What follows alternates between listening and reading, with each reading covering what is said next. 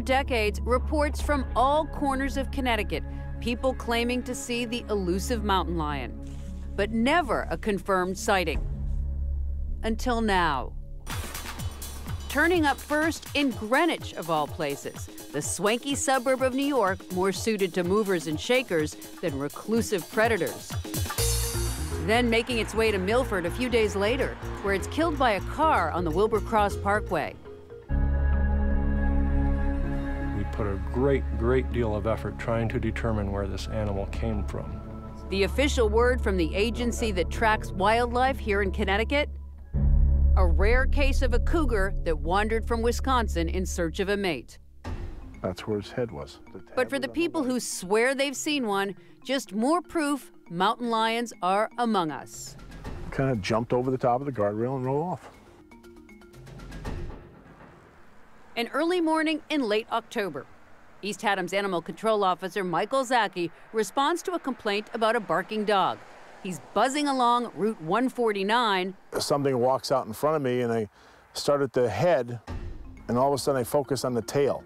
And in between there, I saw a large brown body, a sway back, the shoulder blades, the big paws. There's no mistaking a mountain lion. None. Essentially, the exact same story told by this Greenwich Emergency Medical Team at the beginning of their evening shift in early June. We're driving down King Street on the way to uh, Greenwich Hospital to get supplies. The mountain lion jumped out into our lane, stopped, and then jetted right back into the residential area. It was large, long tail. It was freaking big. People in the houses had come out and they were all out there with their kids and they told us that it had run up the path towards the Brunswick School. Then he was spotted roaming the woods behind the private boys' school. I spoke with one witness who didn't want to go on camera, but he told me he's an avid hunter and he couldn't believe his eyes. This is the only photo witnesses at the school managed to get. Not great, but much better than Michael Zaki. As far as the DEEP is concerned, he has no proof whatsoever, even though a field officer came out to investigate. Ultimately, he was given the company line. No breeding population is exactly the term I was given. We've spent a lot of time trying to verify reports, and every time we've done that, it's turned out to be another species. Markings are obvious bobcat markings to somebody that's familiar with them.